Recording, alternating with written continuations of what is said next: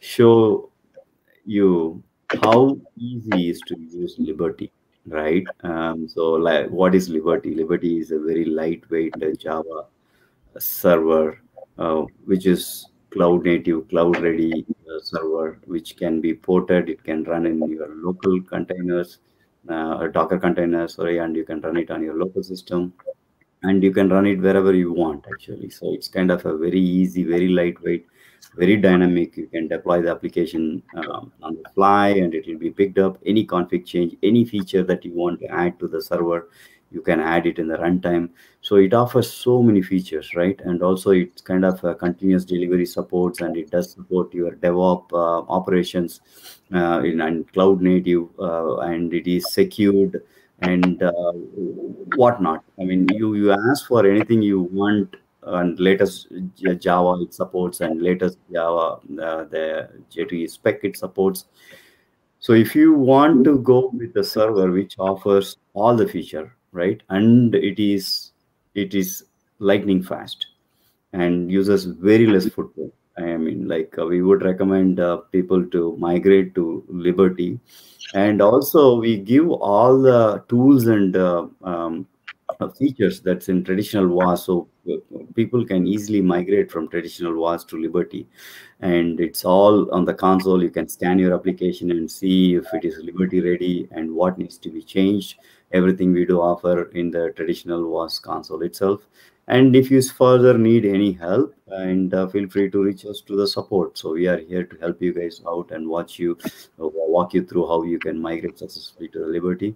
You can also work with your uh, um, uh, account team sales team how this can be achieved. And we also talked about uh, what is the best practice right in liberty? Always use get use close. That's what we have been telling all the time.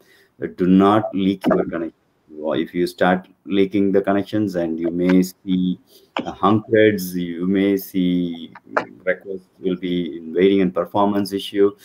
Uh, you maybe see a lot of issues like if you don't follow the standard simple get use close feature and use one thread one connection basis and uh, set your max connection as needed set your minimum connection to zero all the time uh, unused set the value less than your firewall timeout value age timeout set to minus one, which is recommended.